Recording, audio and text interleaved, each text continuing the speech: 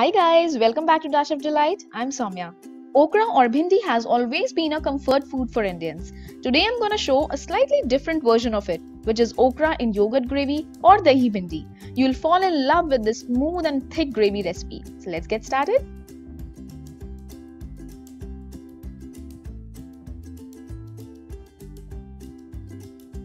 For okra in yogurt gravy, I've taken 1 teaspoon of oil in a pan and once heated, add in the cut pieces of okra.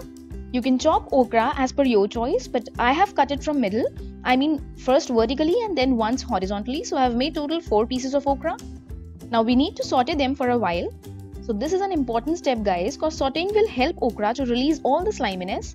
Also remember never ever wash okra after chopping it as it will become way more slimier and we don't want to be in any such mess. So always wash it first then dry it out and then do the chopping. Now lower down the heat and place the lid for just 5 minutes. Now till the time our bhindi is becoming slightly tender, let's prepare the batter for our gravy. So here I have taken 1 cup curd or beaten yogurt. To this I'm gonna add 2 heaped teaspoons of chickpea flour or besan then add half a teaspoon of turmeric powder. Now comes the red chili powder followed by salt. So I'm using 1 teaspoon of salt. You can go as per your choice. Then some garam masala powder and coriander powder. Now give everything a good mix. Now we are to add water but before that just mix everything very nicely so that there are no lumps. So stir it continuously for at least 1 complete minute. Now let's add water. So in goes around half a cup of water. That's it. Now mix it until we get nice and smooth batter. This process will take you around 2 to 3 minutes. So see here our batter has come out to be so even and smooth. It should be of pouring consistency like this. Now keep it aside and check our okra. Yes, it has become slightly tender. Anyways, we don't have to cook it completely here, just soften it a bit and that's it. Now in the same pan, add 1 tablespoon of oil and when heated, add some fenugreek seeds. Let it turn dark brown and then add mustard seeds, also some curry leaves. Now add some green chilies. You can adjust the quantity as per your choice. Now pour all the batter over it like this then immediately after pouring, start stirring it continuously. Do not leave it even for a minute guys, else it will go thick and lumpy. So we don't want that. Now add water into it. Add a good quantity of water guys, at least 2 glasses of water here. Now start mixing it. Remember your flame should be at low medium temperature and keep stirring. Now let it settle down and cook slowly. Very soon you will see that it will start getting a very lovely fluorescent yellow color. See our batter has become nice and smooth here. See so now leave it and let it come to one boil. Then after around 3-4 minutes you will see that our gravy has become both thicker and smoother. So now at this stage we are going to add our fried okra. So add in all the okra here. Now give it a good mix.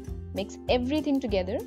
Keep stirring for a while and when it comes to one boil then lower down the temperature, place the lid and let it cook for around 3 to 4 minutes.